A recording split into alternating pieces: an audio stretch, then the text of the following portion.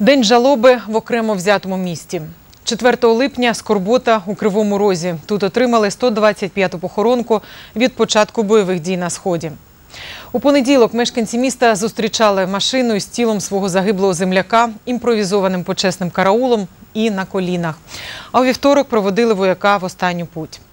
Анатолій Мельников, боєць 43-го мотопіхотного батальйону, загинув 30 червня неподалік від Світлодарська Донецької області. Як розповідають побратими, пряме попадання міни 82-го калібру сталося під час артилерійського обстрілу. Анатолію Мельникову було 56 років. Він працював повітряним гімнастом в російському державному цирку імені Нікуліна. А у 2014 році повернувся на батьківщину із бажанням захищати її. У 2016-му нарешті домігся служби за контрактом і пішов на фронт.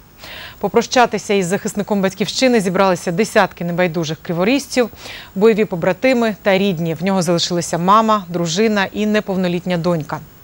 Голова Центральної міської райради вручив рідним полеглого нагрудний знак за заслуги перед містом.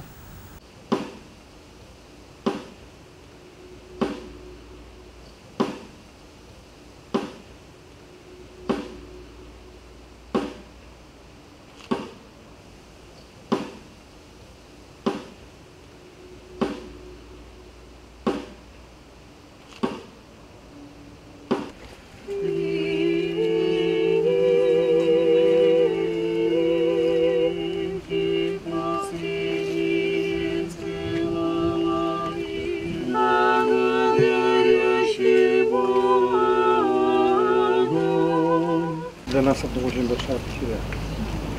Примите соболезнования. Простите, что не уберегли. Мы все очень оскорблены. Саме з ним я був недовго, але батальйон, щоб ви так могли розуміти, це одна сім'я.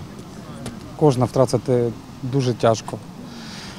І там, де ми були, там найважче. Зараз.